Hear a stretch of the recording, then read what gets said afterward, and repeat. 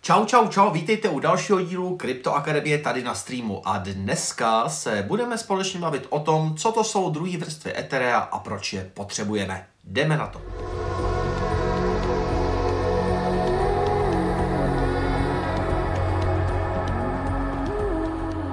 Ethereum je vlajkovou lodí eh, smart chainu, to znamená blockchainu, na který fungují smart kontrakty, tedy chytré smlouvy, kde jsou jakýsi programovatelné peníze a kde se vlastně v dnešní době děje úplně to nejvíc z celého krypta. Cokoliv vzniká novýho, tak z 99% vám to vznikne na Ethereum. Proč? Protože je tam největší množství vývojářů, je tam největší množství uživatelů a protočí se tam absolutně nejvíc peněz z celého krypta. Jenomže eh, Ethereum jako takový není úplně zatím škálovatelný, to znamená, že jsme se dostávali v minulosti eh, k případům, eh, kdy se platily strašně velké transakční poplatky za to, aby ty vaše transakce prošly, protože transakční poplatky na síti jsou závislí od toho, jak moc je ta síť využívaná. No a když potom přijde bull market a ta síť je mraky využívaná, nebo se uh, razí nějaký nový NFTčka, začne tam být nějaký blázinec, všichni se tam začnou hrnout, tak ty transakční poplatky rostou prakticky geometricky, jsou obrovský a musíte platit neskutečné sumy za to, aby ta vaše transakce prošla, aby byla zvalidovaná. No a to není úplně to, co chcete, lidi chtějí mít nízký poplatky, chtějí, aby to všechno fungovalo rychle a hlavně ta síť musí být postavená pro miliony nebo stovky milionů lidí. Eh, nemůže se stát u sítě, která má ambice na to být eh, tím největším topem v celém kryptu, tak samozřejmě tam nemůže být to, že najednou je nepoužitelná, protože platíte neskutečně velký peníze. A právě proto vznikají druhé vrstvy a rollupy. Máme tady dneska mraky ZK rollupů a máme tady mraky optimistic rollupů, jako je Optimism, jako je Arbitrum. Na jednotlivý tyhle ty druhé vrstvy Etherea se podíváme v následujících dílech Kryptoakademie. Dneska bychom si měli společně jenom říct, proč je potřebujeme a jak velice zjednodušeně fungují. E, pokud přijde na Ethereum obrovské množství lidí a Ethereum by fungovalo bez druhé vrstev, tak jako fungovalo dřív, to znamená monoliticky, všechny, a všechno by se zapisovalo do jenom blockchainu první vrstvy Etherea, tak právě dojde k tomu, o čem jsme se bavili mraky lidí, kteří tam chtějí protlačit tu svoji transakci, navzájem se přeplácejí a nedává to absolutně žádný smysl, protože byly chvíle, kdy jste za transakci platili stovky dolarů a to doopravdy nechcete a absolutně to nepomáhá ani přílivu nějakých nováčků a nějaký adopci. Ale s druhýma vrstvama je všechno trošku jinak. Úplně zjednodušeně, jak fungují druhé vrstvy. Eh, představte si, že máte písemko z matematiky, dostanete nějaký zadání, do kterého máte napsat výsledky. To je ta první vrstva Etherea. Máte prakticky dvě možnosti. Buď si budete všechny ty možné průběžné výsledky, rovnice, přepisování, psát do toho eh, papíru, který vám rozdá ten učitel, no ale jak to dopadne. Učitel se v tom nevyzná, vy za chvilku nebudete mít kam psát, budete to někde psát jako po rohách, otáčet stránky, sami se v tom ztratíte a ten papír, ta písemka bude absolutně nepřehledná, všichni budou muset hledat. Přesně takhle vlastně by vypadal blockchain, do kterého by se valilo o hodně větší množství lidí, než ten blockchain schopný zvládnout. Co teda uděláte? Máte papír s písemkou z matiky, no a vedle si vezmete nějaký tahák, něco, kam si píšete eh, ty průběžné výsledky, a když dojdete k tomu cíli, k tomu výsledku toho daného příkladu, tak pouze ten napíšete, napíšete do toho hlavního zadání ty písemky ten papír s těma průběžnýma výsledkama samozřejmě k němu potom připojíte, aby vám učitel nemohl říkat, že jste to někde obsali. No a prakticky takhle fungují druhé vrstvy Etherea.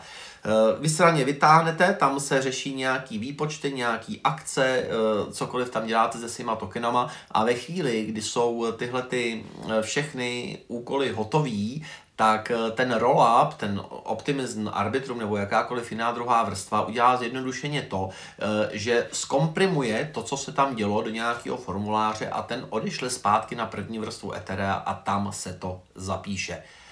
Jaký jsou pozitiva? Nezatěžujete blockchain milionama operací, ale dáte tam potom nějaký pouze jejich zkomprimovaný výcus, který zabírá o hodně míň místa, než kdybyste to dělali tam. To je věc číslo jedna. No a věc číslo dva je ta, že vzhledem k tomu, že ty výsledky zapisujete na tu L1, která je vlastně nejzabezpečenější, nejbezpečnější síť, eh, tak eh, vlastně získáváte i tu bezpečnost té první vrstvy Ethera. Ale všechno kolem si děláte někde mimo. Čemu nám to pomáhá? Zvyšujeme tím škálovatelnost. Lidi mohou být na mnoha druhých vrstvách, mohou být na už zmíněném arbitru, optimismu, eh, ZK synku a tak dál. Tam můžou dělat mraky věcí, nezatěžujete tím tu l síť a na těch druhých vrstvách jsou naprosto minimální poplatky, kde se bavíme prakticky o centech, nejsou to desítky dolarů, jsou to doopravdy centy, jednotky centů, je to něco, co je absolutně zanedbatelné. Takže například pokud eh, poskytujete někde likviditu na Uniswapu verze 3, který už je dneska na všech druhých vrstvách, tak si můžete dovolit tu range, který poskytujete likviditu klidně několikrát denně měnit, protože zatímco by vás to na první vrstvě Ethera stálo třeba 20-30 dolarů, tak eh, tady vás to stojí třeba přepočtu na koruny, korunu, dvě, tři. Je to diametrálně odlišný. A ve chvíli, kdy máte všechno hotové, tak eh, ten eh, rollup udělá to, že eh, tyhle ty všechny výsledky v nějaký komprimované podobě zapíše zpět na eterovou vrstvu L1, která je velice dobře zabezpečená. Ethereum nám do budoucna slibuje mnoho různých řešení, které vlastně začínaly přicházet s Ethereum 2.0, zatím jsme pouze v té fázi, že už Ethereum nefunguje na Proof of Work, ale na Proof of Stake. Do budoucna by se měly uh, aplikovat na první vrstvu Ethera eh, věci, které sníží poplatky i tam. Nicméně druhé vrstvy si našly své místo, asi už tady s náma budou a mají pro Ethereum obrovský přínos, protože nová si tam můžou zkoušet nové věci, samozřejmě, že již je někdo úplně nový v kryptu, tak to nechci zkoušet na první vrstvu Ethereum, protože nechce platit ty vysoké poplatky, uh, proto protože se může stát, že někde udělá nějakou chybu, bude to muset opakovat a jestli vás ta chyba stojí korunu, anebo 500 korun, tak je samozřejmě obrovský rozdíl. No a druhý, uh, druhý obrovský plus pro celý eterový ekosystém je to, že poplatky na těchto těch druhých vrstvách se platí opět v Ethereum. I když třeba Optimism má svůj token, svůj Optimism token, tak ho ale nepoužívá k placení poplatků. Poplatky na druhých vrstvách Etherea opět platíte v Ethereu, což pomáhá ceně Etherea, které už je dneska už tak je deflační a e, když ještě k tomu přidáte mraky sítí, na kterých jsou obrovské množství lidí. Dneska, když si spočtete transakce na Optimismu a Arbitru denní, tak v mnoha případech už jsou vyšší, než jsou denní transakce na první vrstvě Etherea. Doopravdy to, co se děje na druhých vrstvách, e, je neskutečný a Opět to pomáhá Ethereum, protože platíte poplatky v Ethereum, eh, což je vlastně všechno pozitivní jak pro ty uživatele, protože mají eh, rychlou, mají rychlou síť, mají síť, která dědí zabezpečení Etheru. Největší projekty z, uh, z Ethereum je z té L1, jako je Uniswap, jako je AV, jako je OneInch a mraky dalších, už jsou dneska na všech druhých vrstvách, takže i tam je můžete používat a ještě jako bonus eh, se nějakým způsobem pálí Ethera, nebo mají lidi potřebu držet Ether proto, aby v něm platili poplatky.